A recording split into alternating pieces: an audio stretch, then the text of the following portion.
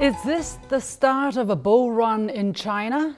During the past few weeks, China has announced a raft of policies to bolster the economy as part of its sweeping efforts to deepen reform and opening up.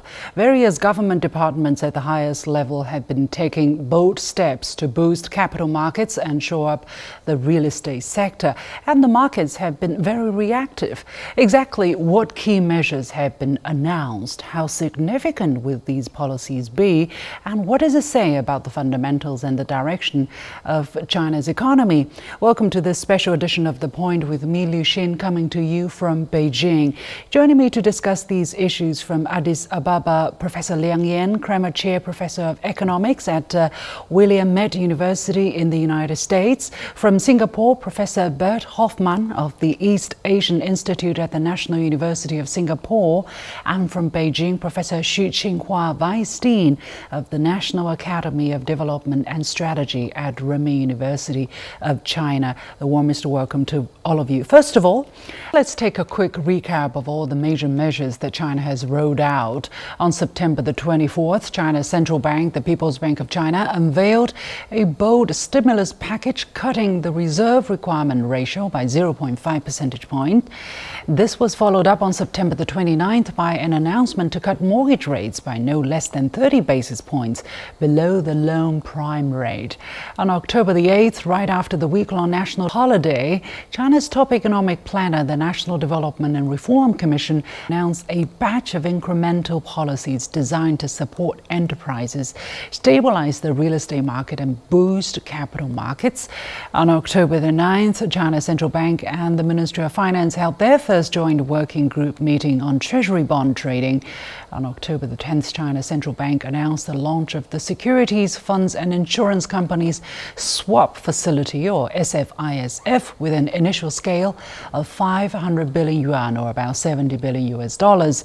On October the 12th, China's finance ministry held a press conference outlining initiatives to enhance the so called counter cyclical adjustments in fiscal policy.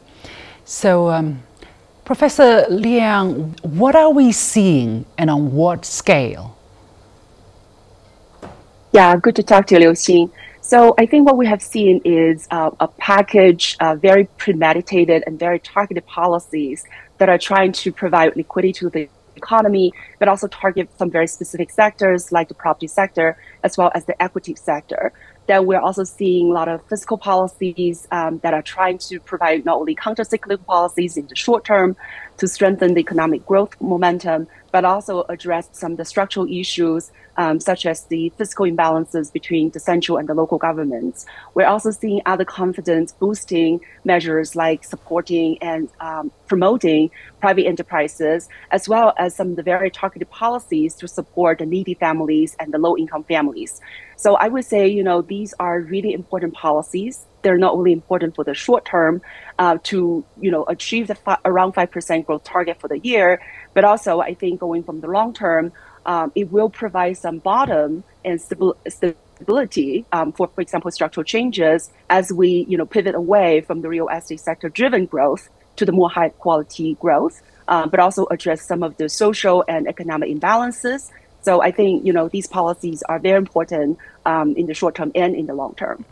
Professor um, Hofman, how would you characterize the mix of policy measures, including monetary stimulus and property market support policies, to galvanize the economy's rebound? So uh, I think they're significant. I believe uh, a, a, key target for this is really the confidence factor, as Professor Liang mentioned. Uh, a stock market going up gives everybody a bit more confidence. It's important that the property sector and property prices stabilize that's important for households, uh, households who have invested a lot in property, and so that might actually encourage consumption down the line. Uh, the third factor, the, the, the, the, fiscal factor, could directly give support to the poor parts of society, to poor pensioners, to people that need the money and would spend the money. So that's a third leg in the confidence uh, building exercise. Of course, it's important that those confidence building exercises are going to be followed up by the structural reforms that are laid out in the third plenum of the 20th Central Committee back in back in July. Mm. Professor Xu, um, you know, this is rather a spectacle, I would say, for both people in China and outside China to see such a large scale and sweeping measures rolling out rather thick and fast, I would say, within a short period of time. Exactly what is China trying to do? Uh, you know, in my understanding, um, our current macro situation of China's economic development remains unchanged. So I'm very confident because we have the high market potentials and strong economic resi- resilience. And the new policies, I think, is really uh, give the stimulus the tooling to help us to raise our confidence, the market confidence, the people's confidence, and to release the resilience and the market potentials, I think. Mm. So it really helps. Yeah. Um, which measure, because we are seeing a whole host of measures, as I mentioned, both to boost the capital market and the real estate, and of course, uh, in, in line with uh, boosting confidence in general. But let me go to each and every one of you. Professor Liang, for instance, which measure do you think is the most significant and which has been received most, uh, you know, most warmly by the markets? Right. So I think the most immediate reaction from the market, of course, is the policies that strengthen the equity market. Um, so that's basically a swap line, also relending facilities, uh, totally worth about 800 uh, billion Chinese yuan by the central bank to allow financial institutions and companies to purchase stocks. So that immediately create this market rally in the past weeks as we see, you know, all the major stock indicators have gone up very significantly. And foreign capital also, you know, coming in um, and that, you know, builds that positive momentum. So I think that's helpful because it creates a positive wealth effect um, for the households to spend. It also strengthens the confidence of the investors. So that's the immediate, I think, reaction that we have seen. Um, on the other hand, we are also seeing some of the early numbers, for example, from the Golden Week travel and spending data. So travel has up by 5.9% year on year, and spending has been up by 3.6.3% uh, year on year. So that again shows that consumers are confident in spending their money. And finally, when we look at the um, housing market, and again, I think it's not just the reduction in the mortgage rates or the reduction in the mortgage uh, sort of down payments, but also um, some of the easing measures in the major cities like in Guangzhou, in Shanghai, in Shenzhen, in Beijing as well. So we're seeing really warm, um, you know, sign of the markets being stabilized um, you know, during the Golden Week, we have seen the floor sales number have gone up very significantly, you know, in Beijing, uh, in Shanghai, and also in some of the tier two or tier three cities, right? In Heilongjiang, in um, also in Guizhou province, we're all seeing, you know, the floor sales have gone up year by year um, at quite significantly. So what I would say is, you know, these policies are very effective, at least in the short term course, what we're needing is also, you know, the, the press conference um, from the Ministry of Finance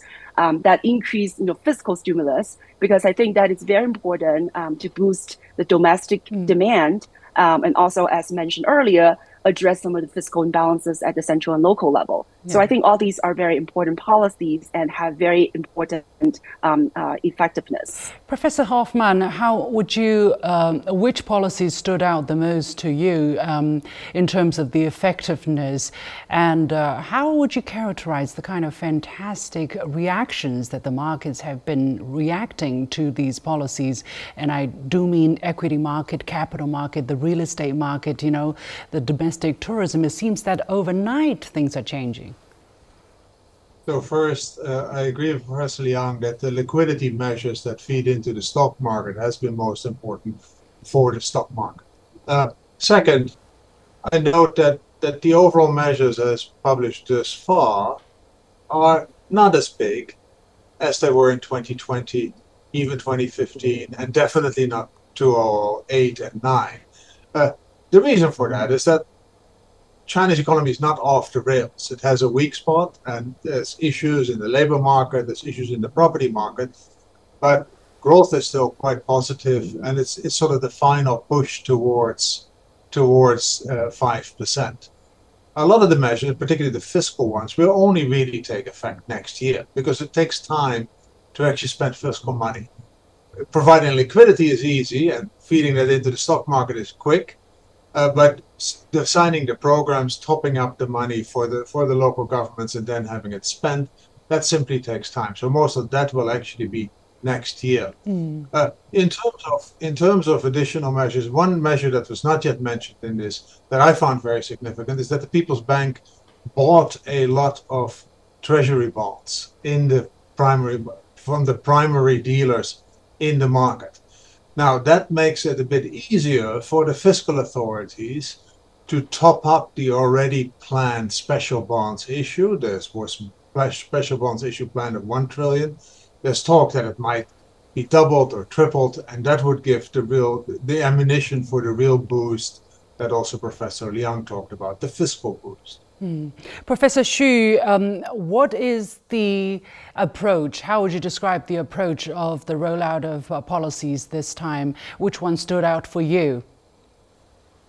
Um, this time, I think one uh, one policy, for example, in response to the current difficulties in production and operation of some companies, uh, increased assistance to them. We know we have been doing lots of the field studies.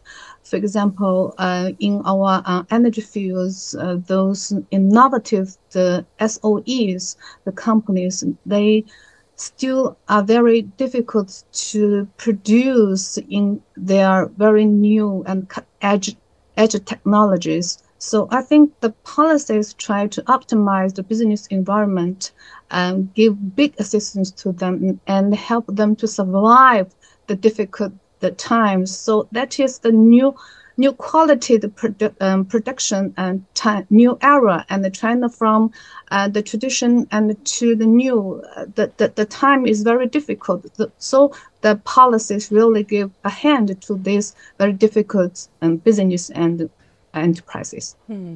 Some people have um, not been very optimistic, let's say, about the um, systematicness of and or the, the, the the, the, nature of coordination among all of these policies. Some commentaries, including economists, are calling the measures piecemeal, which appear to disappoint investors. Of course, they were particularly talking about the press conference by the top economic planner, the NDRC, on October the 8th, right after the National Day holiday.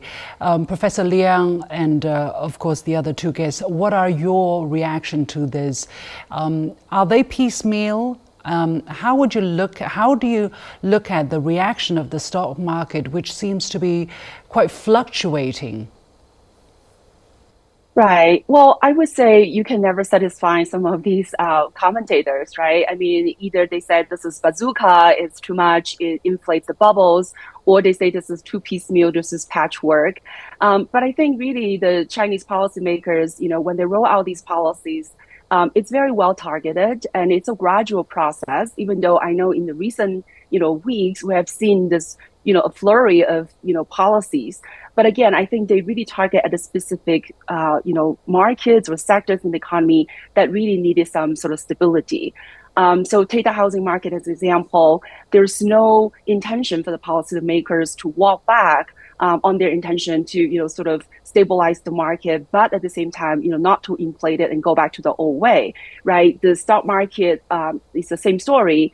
Um, even though the market has been rallying, but we know the Chinese stock market has been for a long time undervalued, right? When you look at the PE ratio, even though it's not a perfect indicator, you know, it does show that the Chinese stock market has been really undervalued. So I think, you know, these policies that try to stabilize the markets and create a positive wealth effect and also to stimulate you know the confidence of the investors. I think these policies are very measured um, and they're appropriate at this point in time. Now in, when it comes to the monetary policy that just you know rides the easing cycle. The fed has been cutting ecb has been cutting. So it's not surprise that the central bank of china also you know slashed the interest rates and uh, RRR. and finally when it comes to fiscal stimulus. And again, many countries have done that, and it's very important. And for China, I think it's not only because we need some of the short term growth momentum, but to address some of the structural issues going long term. So I think all these policies are important, be they you know, be it as it may, piecemeal or graduate approach or well targeted, but you know, also uh, quite you know strong measures. Um, I think you know the the jury throughout. Uh, we're just trying to see if these policies make sense when it comes to the effects on the economy. But so far, I think early data have indicated that these policies have been very effective. Hmm. Professor Hofman, your reactions. So. Um, uh, I agree with Professor Liang that it's hard to please the Economist newspaper. Um, look, I, as I argued, the big bazooka is actually not necessary. That's not what China needs. Yes, they need some stimulus and to keep more or less the growth target of 5%, to resolve some of the issues that are emerging in the labor market, to resolve the issues in the property market, which which is very important for the Chinese economy, to stabilize it, to stabilize the prices there but it doesn't require the size of, of stimulus that we've seen in the past, particularly in 2008, 2009. Uh, what is important, I believe, is beyond these short-term announcements, that there is concrete follow-up of the of the more structural reforms that will bring that that counter-cyclical macro policy that was announced first in the third plenum, latest in the September Politburo meeting, that those reforms fall into place. And that's quite a bit quite a bit of homework needs to be done, i.e. the fiscal system needs to much more have automatic stabilizers in built in, and that requires tax reforms, it requires intergovernmental fiscal reforms, it requires different assignments of spending authorities. The authorities are aware of that, but you can't do that overnight. Second, on the monetary side, uh, it was quite clear that there was maybe a bit of delay that the monetary authorities were waiting for the Federal Reserve Bank to move. And then they had the space to lower interest rates. Well, structural reforms can give China a fully independent monetary framework within which they can decide on monetary policy for China's needs only, irrespective of the exchange rate. So that requires reforms as well. Those will need to fall into place. I think that will give much more long-term confidence that hmm. indeed mm. there is more automatic stabilizers yeah. in the Chinese. Mm. Um, Professor Xu, is China mulling other measures or going to continue in the long, in the medium and long term, other more structural oriented measures to back up the kind of stimulus packages we're seeing now? Uh, thanks, Liu. So um, I'm sure there will be going to be the following the uh, strong policies. So uh, I totally agree with um, uh, um, the professors. They think that there are lots of skepticism about the, the effectiveness of the policies um, because the weakness in in aggregate demand stems mainly from the deep adjustment in real estate and financial sectors. So um, I think that the uh, uh, not only the central government and the local government, the, they are all thinking about the debts and the especially the local government debts hasn't yet uh, been fully resolved. So now the policies we are thinking is the focus is a sustainable of the new policies. So for China, such a big uh, the, the the economy, so we are also the engine of the world economy, economic development. So there is a saying that it's very hard for a very big sh- uh, ship to to turn uh, turn around, for example, to the high quality production. So we should be very careful, and we still need to be uh, release, continue to launch uh, and strong fiscal policies after the current round of monetary policies and the real estate policies. But we should be very, very careful.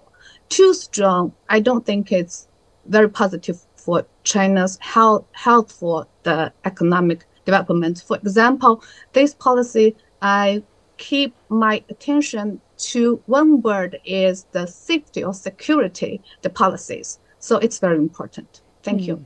Um, how would you how do you characterize, how, how do you judge whether uh, the policy is too much or is not sustainable? Um, Professor Xu, for instance, what do you watch out for? And then I'll go to the other two guests to get their engagement. Um, I think that because we have uh, comparatively a little bit closely involved into the policy, um, the, the, the, the, research, and others. So, uh, for example, this time the measures um, uh, uh relevant to the the macro uh, the the policies and also including the um, how to say to try to um, upgrade the insufficient uh, effective domestic demand. Uh, in the beginning, we are talking that uh, we, we think that the, the new policies are effective and to some extent lots efficient and very strong. So that's I following say that it should be very sustainable. That means that to keep the confidence, not only Chinese, but also uh, foreigners, uh, to be keeping the confidence on Chinese uh, uh, uh economy. Uh, what you say just uh, reminds me of what's written in the decision of the third plenum of the 20th CPC Central Committee when they set out this important reform agenda for the next five years. There, it's very carefully worded. It says we will improve the functions of the capital market to give balanced weight to investment and financing. We will prevent risks and tighten regulation to promote the sound and stable development of the capital market. Professor Liang, uh, I want to get your um, assessment on how is China doing this balancing act between stimulating the market and keeping things stable and sustainable for the longer term? Right. So again, I think most of the commentators, uh, when they talked about you know too much of stimulus, they refer to the stock market rally but again, I agree with Professor Hofman. Uh, we're not seeing the same kinds of rally post COVID in 2021. We're not seeing the same kind of rally back in 2015 or you know out, out, um, after the great financial crisis. And like I mentioned earlier, the PE ratio in China has been only about 12.8 before the, the rally, and now it's close to 14. Um, it's by no means, I think, overheated when you compare to India, right? The PE ratio is 27, the US 26, and some of the European countries, despite very ailing economy, you know, their stock market valuations are much higher than China. So in that sense, I don't think, you know, we're overdoing the sort of stimulus, at least in the equity market. Um, real estate market, I think, is the same story. I think it's a controlled demolition of the the of the real estate bubble uh, back in 2020 when the three lines policy were implemented. But there are collateral damages when you have very slump in the real estate market. You know, the price have been going down, the transaction volume going down, and the investment have been going down for now three years. And so I think it is time to stabilize the market um, to control a little bit and limit a little bit the damages that you have done to the macroeconomic market. And I totally agree with Professor Hofman that none of the stimulus, right, can replace the structural reforms. Um, but I would also say that these are not mutually exclusive, right? So when you give fiscal stimulus, especially at the central government level, that allowed you know some more fiscal transfer to the local government mm. level. So I think you know again, stimulus and reform um, they go hand in hand. Indeed, uh, Professor Hofman, without going into too many technicality and uh, details, is China's reform measure or deepening reform measures on the right track? All right. Look, if I look at the, the third plenum document, uh, the, the resolution, as they call it now, uh, that is a pretty solid document. And indeed, it addresses a whole range of the points that people expect reforms in. It's not detailed enough, but in the People's Daily, there was a series of articles that went more in depth. And uh, Professor Liang should be happy that there's quite a bit on the fiscal side uh, that is being promised that will make, become policy over time, including on the social side, including on social spending, uh, and particularly this realignment of, of, of, responsibilities and spending across levels of government. Uh, a recognition of the uh, debt local government debt issues, and some of these special bonds will probably be used to resolve that. So I, I see a lot of elements where I say, well, they're actually with these structural reforms, they are moving in the right direction.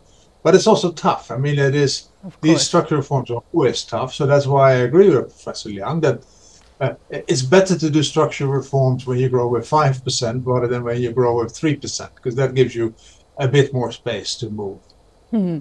Well, talking about 5%, the other day, the NDRC press conference, one of the topic was uh, whether China will fulfill its uh, annual growth target of about 5%. Um, what is your take? Let me go to Professor Xu here.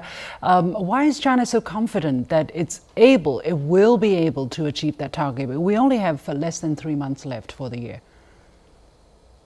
I think that uh, the Chinese government is confident is because this time the new policies shows the characteristics the following three uh, more emphasis um, I mean that is one is more emphasis on improving the quality of economic development.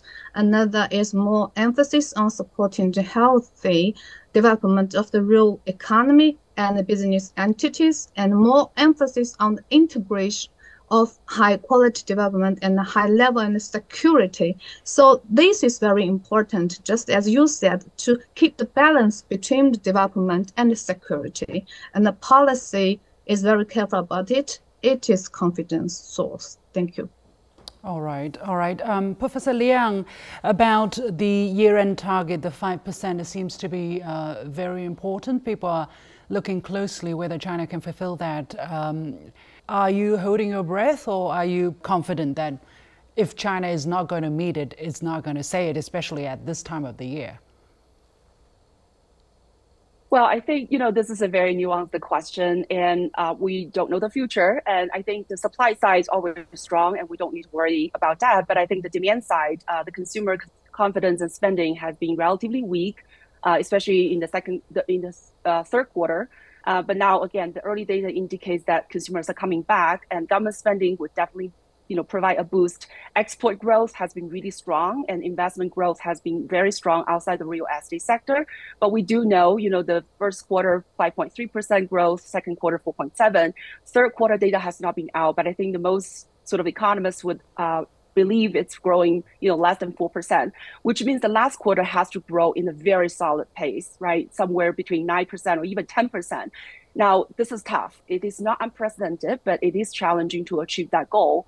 Um, so I think I am the I am holding breath. But that said, I don't think this year by year sort of the growth rate is that important, right? 4.9% versus 5% growth rate is not going to be you know making huge difference uh, in the grand scheme of things. Mm. Um, but I do believe that NRD, uh, NDRC uh, made an announcement, right, that they have the confidence to achieve that. So again, the last quarter um, is very important, and it's that fiscal demand could help to boost the economy. Uh, I think that would really help to achieve that goal. Hmm. And uh, Professor Hofman, um, what are you looking at now, from now to the end of the year? And uh, do you think some um, surprises can be pulled by China? Well, so first, I'm a bit more optimistic on the on the third quarter. I think that's going to end up above four percent, but that's uh, uh, not a very strong strong confidence mm-hmm. uh, estimate. Um, with some additional boost, it is, uh, I think, still achievable to stay within the range of what is about five percent. Uh, the big the big uncertainty for China and the rest of the world, frankly, is the U.S. elections. And that's if I were if I were a Chinese policymaker, I would keep some powder dry of whatever I'm going to announce in terms of stimulus, because I need to have the policy space in case the U.S. elections turns out to be a negative for China, because then more stimulus is needed in the final in the final quarter. What I would particularly look at, what I'm looking at, is really developments on the labor market. I think that's that's important for the long term uh, uh, demand, mm. uh, the consumer demand, and and uh, it's frankly it's important for the Chinese people. So I think that's the most important indicators, or whether it's 4.7 percent or 5.1 percent. Uh, if the labor market turns around and and uh, becomes stronger, I think that's the biggest achievement for China. Yeah.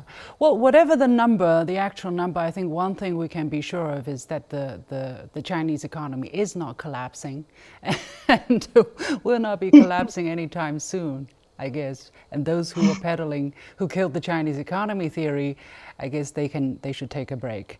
And uh, we're coming to the end of this special edition of The Point with me, Liu Xin. Many thanks to my guest, Professor Liang Yan from uh, Willamette University, Professor Bert Hofman from the National University of Singapore, and Professor Xu Qinhua from the Renmin University of China.